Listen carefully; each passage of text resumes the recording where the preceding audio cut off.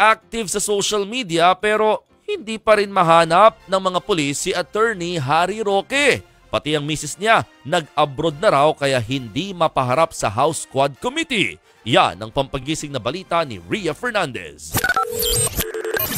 Ilang linggo nang hinahanap ang mag-asawang Harry at Myla Roque. Pareho silang may arrest order mula sa House Squad Committee na nag-iimbestiga ng koneksyon ng Pogo sa drug war. E nasaan na ba sila? Ayon sa Bureau of Immigration, kumpirmadong nag-abroad si Myla. September 3 pa siya umalis. Nauna siyang nakapag-abroad bago pa man ilabas ang Immigration Lookout Bulletin Order sa kanya noong September 16.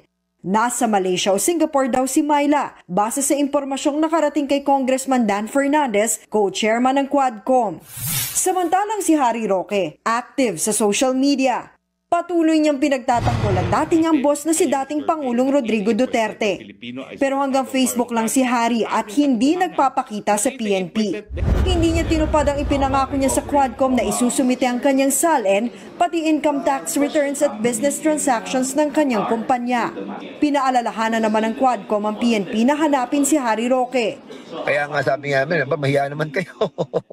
Dahil hindi nyo ma- ma- makita. Ah, si ah, Secretary Harry Roque. Ah, medyo ano yun, medyo nakakano, nakakalungkot on the part of the PNP. Nagbabalita mula sa Frontline, Ria Fernandez, News 5.